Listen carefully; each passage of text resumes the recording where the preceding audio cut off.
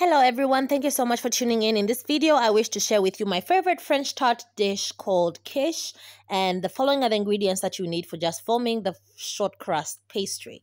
So you have here flour and egg yolk, some cold butter, cold water from the fridge, and some salt to taste. You're going to have to mix all the ingredients all together but gradually adding the butter as you squeeze it into the flour make such a paste, make such a dough, make it look exactly like this, guys. Feel if anything is wrong with it before you actually place it in the refrigerator because you need to place it in the fridge for setting for about a good number of 30 minutes or so.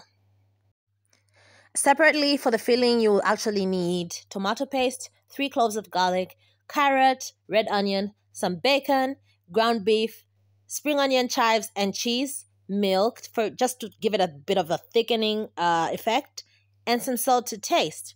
There aside are also uh, kidney beans, which I'll use to blind bake the pastry once it's rolled out. Another item I was almost forgetting is green peas actually in this recipe. Do not forget green peas. They they taste so yummy and once it's done this dish, you're actually going to combine all of them on the stove, saute and everything mix up and set aside. Once the dough has been placed in the fridge, roll it out for a good number of minutes. Make sure you're not overhandling the food because it will start to, you know, show signs of overhandling. So you want to roll it out quickly and uh, using some flour to dust every other time. You want it to look like so. See that it doesn't stick to the surfaces. Get a pastry cutter and cut into such discs. Check for the thickness. It shouldn't be too thick, too thin because these bulge while in the oven when blind baking.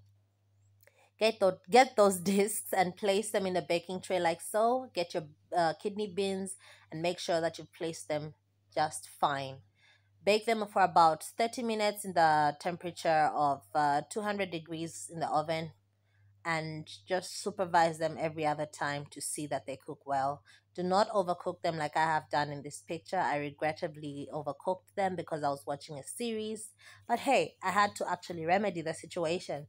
So after placing the filling, I actually baked them for a good 20 minutes, less time this time, and lower heat. So this is the final result.